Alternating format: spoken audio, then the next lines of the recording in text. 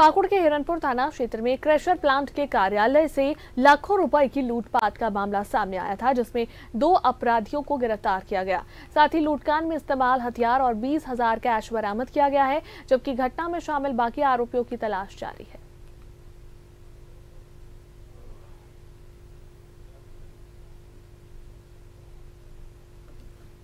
GP thresher पे चार अपराध कर्मियों के द्वारा जो है लूटपाट की घटना हुई थी, जिसमें उनके वहाँ घुस करके, रेकी करके, घुस करके और हथियार और खुखरी के बल पे एक लाख सत्तर हज़ार रुपये की लूट की तो कुल मिलाकर के पाँच अपराधकर्मी इस कांड में शामिल थे।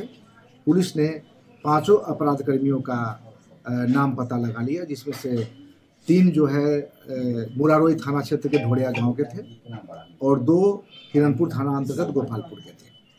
अभी तक दो अपराध कर्मियों की गिरफ्तारी हो चुकी है जिनके नाम हैं मिलन मंडल और दर्शन मंडल, और दोनों गोपालपुर के ही हैं।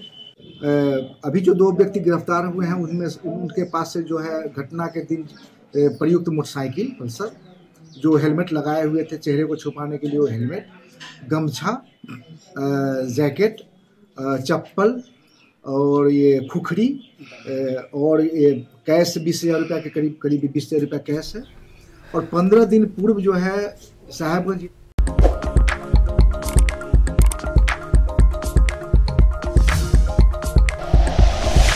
like and share videos, subscribe करें हमारा चैनल और प्रेस करें बेल आइकॉन न्यूज़ 11 भारत सच है तो दिखेगा।